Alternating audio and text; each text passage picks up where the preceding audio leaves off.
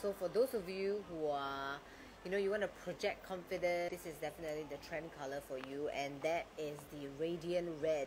This is the kind of red that is extremely passionate it's intense it is very saturated. It is not easy for a lot of people to incorporate. There are definitely some do's and don'ts when it comes to wearing red and so i'm going to share with you some of the ways that i will match red for 2024 why you should adopt this red. I think all of us, we have been very comfortable with neutral colors. Go to black or too navy or too grey or too beige. It's just, it doesn't it doesn't make you stand out. It doesn't make people remember you. Now, I know that some people, they just want to be in the background. You'll be very surprised in what red can do. You know, there's this famous quote saying that when in doubt, wear red. I believe that whatever that you wear, it can go into your subconscious mind. So when you wear it and you look at yourself in the mirror, it kind of makes you act and feel a certain way. For myself, I'm an introvert, but when I wear red, I become a little bit more extroverted. I become a little bit more energetic. And so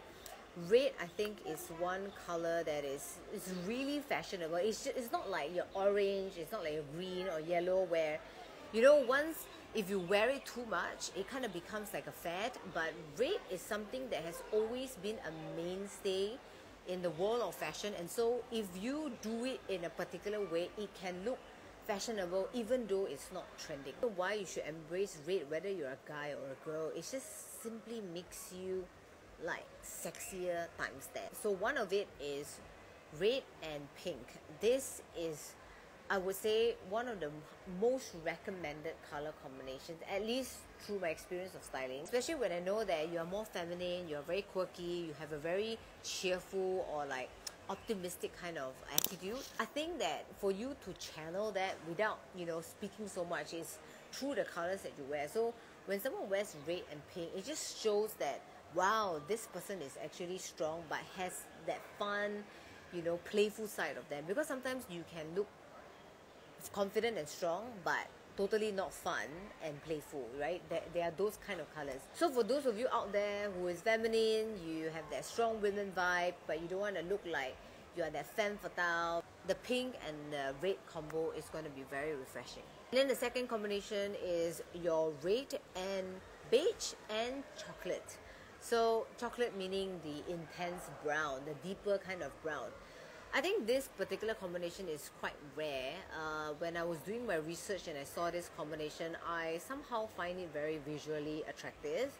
I think simply because it is still within that color scheme. It is still quite calming in a sense because red is like hard to tame, right? And then when you pair it with like beige, along with a very mature, stable color like deep brown, it kind of makes the red a little bit more approachable. It kind of makes the red like more sophisticated in that manner. So if you think that oh black is sophisticated, black should match with red, actually it makes red even sharper and and not as sophisticated. I think it is a smarter way if you try to match red with colors that is still within the family, meaning to say the two new accompanying neutrals, which is beige and brown, actually has the same undertone as red because these three are considered the warmer color palette which is why it works. Last but not least, I would match red and grey. This is my personal favorite because I'm the edgy gal. I'm the gal that wants to show that whatever I wear kind of like have that cool girl attitude that is a little bit dangerous and mysterious and so sometimes when I wear all red, I, I do feel a sense of like, wow, it's a little bit much. Grey is a very smart way for you to take the red down a notch. It kind of injects the coolness without making it look too pared back because red itself is very wild you need a color that is very grounded in order to pull it back and make it look very i would call it it's dangerous but a little bit more mysterious. Sometimes gray can look very boring when you don't know how to do it well. So i think injecting red to your gray outfit is definitely going to add a bit more character to a pretty serious look that gray provides Okay guys, I hope that you found this video useful. Uh, let me know uh, if you would adopt the radiant red if you are that personality, and I will see you in the next video.